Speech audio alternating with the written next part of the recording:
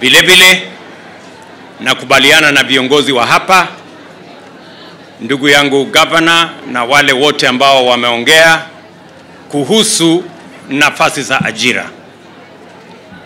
Pia tunataka na Rosta mwenyewe hapa amenihakikishia ya kwamba wale watakaofanya kazi sehemu hii sio watu wa kutoka sehemu ingine, ni watu wa Likoni, watu wa Mombasa na watu wa Pwani na Wakenya wengine ambao watakuwa karibu na hapa. So you have no doubt that we will ensure that the people who will benefit from job opportunities created by this investment will be people from Likoni and Mombasa and the coast in a manner that everybody is going to be enjoined. So that I want to commit to you.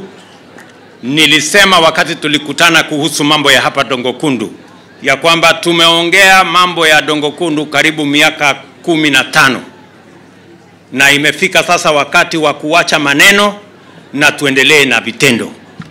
Kuja kwetu hapa leo, na nilikuwa nimesema lazima tuwe na waegezaji kabla ya tarehe e, mbili mwezi wa nne. Mimi nafurahi ya kwamba tumefika hapa leo. Tuko na waegezaji wengine ishirini na wawili ambao wako tayari. Tuko na waegezaji wengine ambao watakuja baadaye tukifanya ile international advertisement ya investment ya hapa, na nimeambia watu wa jaika ile mpango ya kwamba hapa Tungukundu itakuwa tayari 2027 sio hivyo.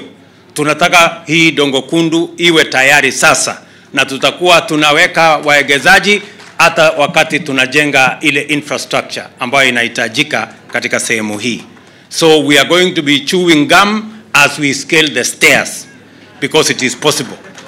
Tutakuwa tunaendelea na mambo itakuwa hivyo.